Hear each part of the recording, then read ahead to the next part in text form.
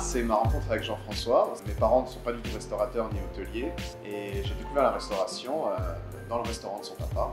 Moi j'ai été contraint et forcé, euh, je suis né là-dedans, euh, dans une famille de restaurateurs et l'Institut Paul Bocuse a répondu totalement à mes, à mes attentes en termes de formation parce que se former en famille dans le restaurant familial c'est une chose, mais aller apprendre l'excellence dans une grande école c'est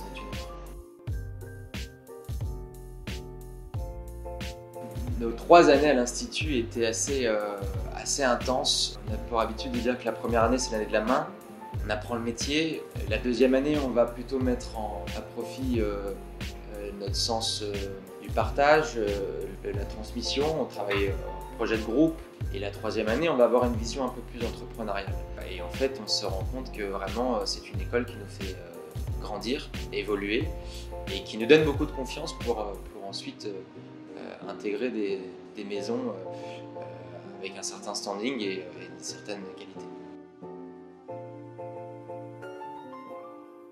C'était un projet de restauration commerciale dans des food trucks pour la marque McCain. Ils sont venus faire un recrutement en fait à, à l'Institut. Euh, six mois de stage, ensuite ce qui a découlé sur une embauche. C'était ma seule et unique expérience avant d'ouvrir ce restaurant. Alors moi j'étais euh, en Espagne, à Barcelone. J'ai travaillé en tant qu'assistant du directeur de la restauration pour le groupe Mandarin Oriental. J'avais besoin d'apprendre une autre langue et puis de me retrouver euh, immergé dans une autre culture, euh, découvrir aussi ce que c'était que l'hôtellerie puisque j'ai toujours connu que la restauration. Plus on y goûte, euh, plus on en a envie de plus. On a trois affaires, c'est beaucoup de, beaucoup de travail, mais c'est très excitant.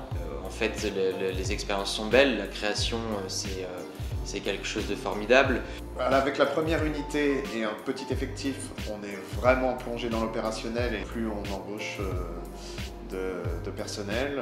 Maintenant, avec trois unités, c'est vrai qu'il y a un aspect gestion, gestion tout court et gestion des hommes qui est beaucoup plus important qu'avant. Il ne faut pas oublier que c'est un métier de service et qu'on est là pour les autres.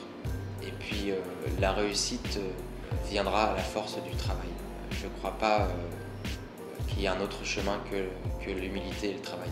J'allais dire exactement la même chose avec d'autres mots, donc c'est parfait.